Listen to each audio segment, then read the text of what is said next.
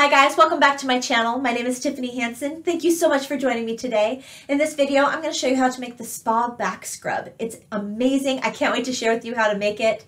If at any point in this video you do like what you see, please push that thumbs up button. And if you haven't yet, subscribe to my channel and click the bell. That way you don't miss any of my videos. I try to release a brand new video every single Friday covering a wide range of different types of crochet projects, tips and tricks. You're not going to want to miss out. It's a whole lot of fun. The pattern for the spa body scrub can be located here at the bottom of the screen. Go ahead and just pause the video, write that down, go to the website, print off the pattern, and be ready to crochet with me. I will also include the pattern in the notes section and the comment section below this video, so all you have to do is click on the link, print off the pattern, and be ready to crochet with me. The Spa Back Scrub is a perfect addition to my spa collection that I've created a whole playlist for. After this video, I highly recommend you go check out that playlist because it's full of a bunch of different spa related items that you can make and create a whole gift basket for. I'm still adding to that playlist, so if it looks a little light, it's growing, I promise. All right, once you are ready, let's go ahead and dive into what materials you're gonna need to make the spa back scrub. The materials that you're going to need for the spa back scrub will include a 100% cotton yarn. I used the Lily Sugar and Cream cotton yarn, the regular size, not the super sized ball. This ball contains 120 yards of yarn, 109 meters, 2.5 ounces or 70.9 grams of yarn. I used all but about this much of the skein. So about a third of the skein, maybe a fourth of the skein is what was left behind. I also used the Red Heart Scrubby Cotton Yarn. I used these together and that really helped with the exfoliating factor. If you don't have Red Heart, just try to find any really scratchy, the scrubby type of yarn that is used for the exfoliating factor of the spa back scrub. You can use the same color if you want. I am doing so just to keep it very neutral and spa-like, but you can have two completely different colors that you join together. Whatever you want to do, make it your own. You'll need a crochet hook size I9 or 5.5 millimeter crochet hook, a pair of scissors, and a yarn needle, tapestry needle to help you weave in your ends at the end of the project. Once you have all of your materials, let's go ahead and head straight to actually making our spa back scrub. We begin by working both of these yarns together. So take both yarns, match them up, and they will be crocheted as one. Start with a long enough tail for you to weave in your ends at the end of the project. Create your slip knot. Attach your crochet hook, and we are ready to begin. Start by chaining 11 chains. One, two, three, four, 10, 11. Great. For row one of our spa back scrub, we will make our first half double crochet in the second chain from our crochet hook. So looking at our V-stitches, one, two, half double crochet in that second chain. If you need to go slow, make your way through the stitch. It's totally fine. The grab of the scrubby yarn can cause more friction, so just take your time with it. You will make one half double crochet in each chain all the way across. You will end row one with a total of 10 half double crochet stitches.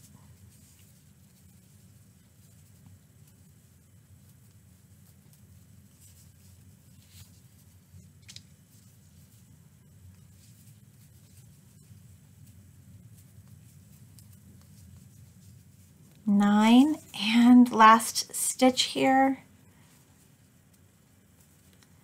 10. Perfect. For row two, let me go ahead and grab some more yarn here. There we go. For row two, we will chain one, one. We will turn our work, and we will make one half double crochet in each stitch all the way across. You will end row two with a total of 10 half double crochets.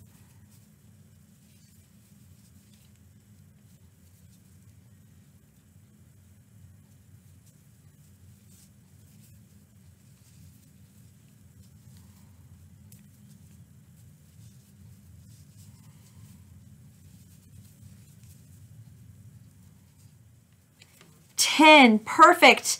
Chain one, turn our work. All right, for every row here on out to the end of row 52, that's right, we're going to repeat row 2 through the end of row 52. All you're doing is chaining one, turning your work, and making a half double crochet in each stitch all the way across. You will end each row, row 3 through the end of row 52 with a total of 10 half double crochet stitches in each row. What I'm hoping is that this solid yarn is really helping you work with the highly textured yarn. Yes, this creation is creating a textured piece, but it's not so textured that you can't see the individual stitches that you're supposed to be putting your crochet hook in, which makes it very easy to work with. If you are still struggling to see your stitches through the texture of the scrubby yarn, you can absolutely just omit the scrubby yarn and continue to make this project just with the 100% cotton Lily Sugar and Cream yarn that's totally fine. If you want to substitute, make an alteration to do that because perhaps it's too difficult to see the stitches. What I'm hoping for is that you still can and that you can continue on through, through row 52 using the two strands of yarn. All right, continue on and I will see you very soon to show you what to do next. This video is sponsored by Skillshare. Skillshare is an online learning community for creative people, curious people, or just crafty people trying to dig deeper into the niche to get better at whatever it is that they are doing. I've used Skillshare on a number of different things, whether it be crochet techniques I wasn't very familiar with, Etsy and how to sell my crocheted items, photography and how to take better pictures of my crocheted items, most recently color and what colors work best with each other. There is a video on Skillshare right now that is blowing my mind. It's called Color Theory, Get Inspired by Color by Sarah Parkinson Howie. She goes over what colors look look best with each other, but also that color can affect your mood. It can make you happy. It can make you calm. All things that are super amazing for any crocheter to know. Skillshare is filled with videos that they're constantly updating, giving you the newest, best information in whatever it is that you are looking for. For less than $10 a month with an annual membership, this is the place for you to be to level yourself up in whatever it is that you are trying to do. Skillshare is offering us a gift. The first 1,000 of my subscribers to click on the link below in this video get to try a premium membership of Skillshare Skillshare absolutely free. Check out that video on color theory, get inspired by color by Sarah Parkinson Howie. It is amazing. Also check out other videos to make sure that Skillshare fits with whatever it is that you need to level yourself up. Thank you so much Skillshare for sponsoring this video. Let's get back to the spa back scrub. Great, we have made it to the very end of row 52. What you will do now is you will actually turn your work and then chain 10 we're starting to make the handle part of the spa back scrub. So one, two, three, four, five, six, seven, eight, nine, ten. Slip stitch into the 10th stitch of row 52. Slip stitch. There we go. Perfect. All right. That was technically row 53. That's what I have it down on in the pattern as. For row 54, we will chain one, turn our work, and make 12 half double crochets in this handle part or this chain two section here. So yarn over, and there's one, two,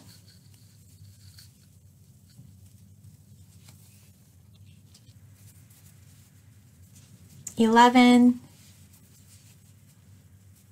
12. Perfect. All right, so now we're actually going to slip stitch back into that 10th stitch of row 52, or technically that would have been the very first stitch since that was the 10th stitch. But either way, the very first stitch of the main body, the row 52. So slip stitch right there. This actually creates kind of a bow in the work, but it also adds an extra secure connection to the handle. All right, so that was row 54. We are on to row 55.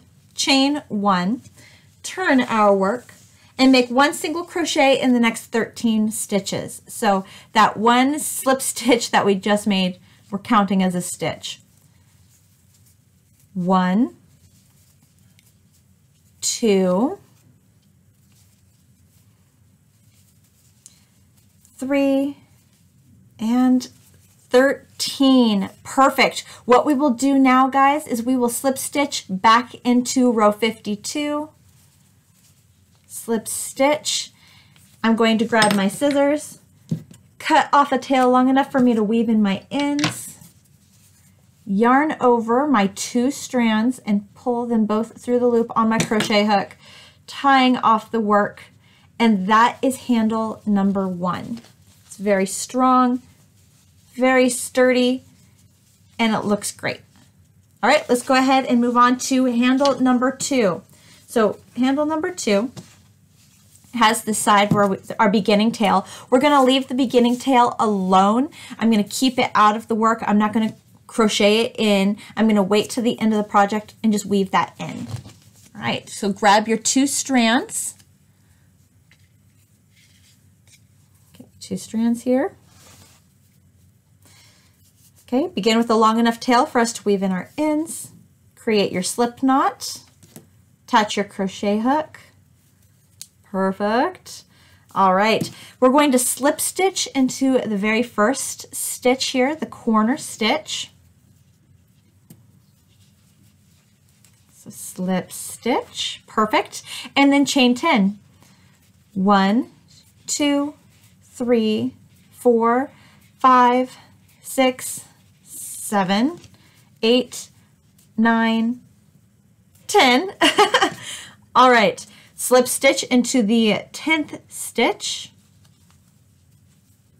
Slip stitch, perfect. Turning our work. All right, we are now, this would technically be row 57 in the pattern. We're going to chain one. We're going to make 12 half double crochets in the handle or in this chain 10 space. One, two, three, 11, 12. Great. Slip stitch back into row 25 slip stitch. Perfect. We are now on to row 58, which is the very last row. Chain one, turn our work. Now you're going to make one single crochet in the next 13 stitches. Again, that slip stitch into row 25 added a stitch. That's why it's 13 instead of 12. One, two, three, 12, 13. Great. Slip stitch into row 25. Boom, just like that. All right, I've already cut off my yarn, leaving myself a long enough tail. Wanted to actually work this project before I showed it to you. That is why this work is already cut. So all you have to do is yarn over those tails, pull them through the loop on your crochet hook, pull tight for a slip knot, and that handle is now done, secure, and ready to go.